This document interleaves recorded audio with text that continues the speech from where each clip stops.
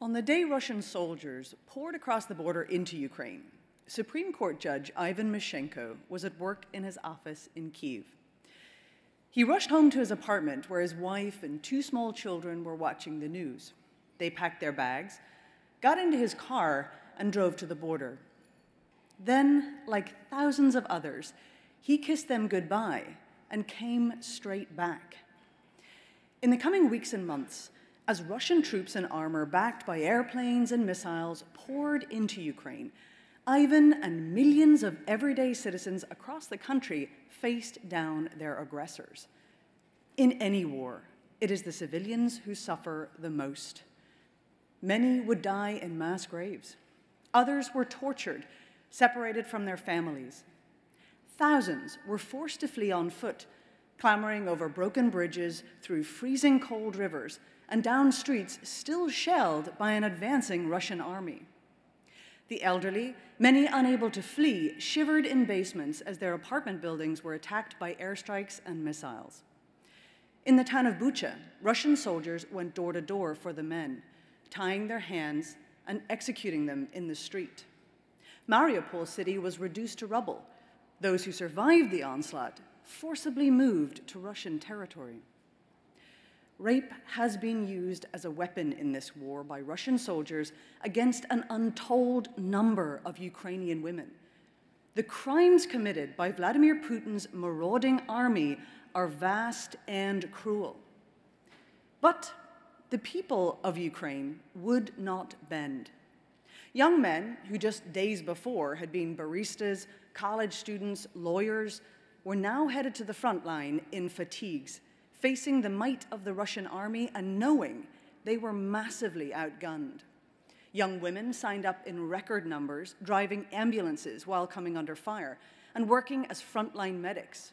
Old ladies picked whatever they could from their houses and storehouses, jarred and canned fruits and vegetables, and sent them to those living near the front. As the capital, Kiev, prepared to defend itself, locals set up checkpoints, sniper positions, using even manhole covers as protection. Restaurants kept their kitchens open day and night, making food in bulk and sending it to the volunteers and soldiers. When Ivan Mishchenko, the Supreme Court judge, arrived back in Kiev, he looked up a young activist he had come to know when he was in court for leading protests to protect the city's parks from developers. 24 year old Roman Ratushny agreed to let Ivan join his small band of volunteers who were driving to the front north of Kiev almost daily, then slipping into the woods on foot and flying small handheld drones over Russian positions to monitor their movements. Ivan and Roman were an unlikely pair in life before the war, but formed a profound brotherhood during it. After the Russians retreated from Kiev's outskirts, Roman volunteered to head to the front in Donbass and was killed there in June. Ivan survived their missions and continues to fight at the front. From the very start of the invasion, the civilians of Ukraine mobilized from the ground up. Their leadership, meanwhile, also rose to the moment. Each day, from his sandbagged office in Kiev to roving secure locations when movement was essential for survival, President Volodymyr Zelenskyy spoke to his people and the world.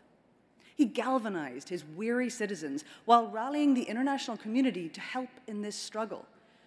When offered an escape from the country, he called not for a ride out, but for weapons.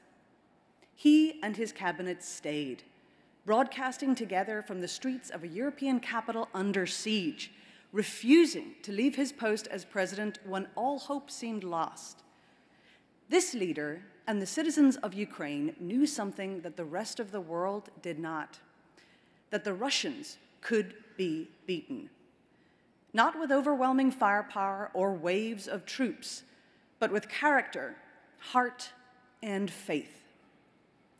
They took what the world gave them, rummaged through what they already had, and pushed back the remnants of a once powerful army, showing the world that no empire can defeat millions of individual acts of people going about their daily lives and refusing to surrender.